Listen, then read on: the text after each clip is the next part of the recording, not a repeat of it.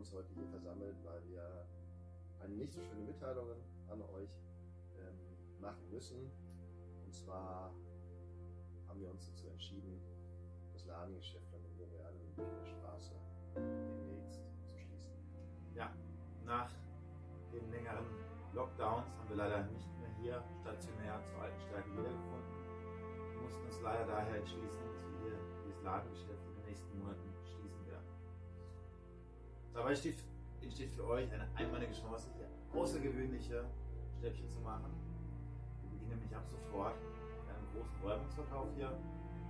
der sich aber explizit nur auf das Ladengeschäft bezieht und der Online-Shop der bleibt weiter aktiv, ähm, sodass es auch momentan nicht ähm, extrem reduziert gibt hier.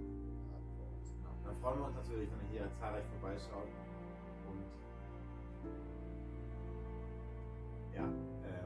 der vielen Stäbchen sichert.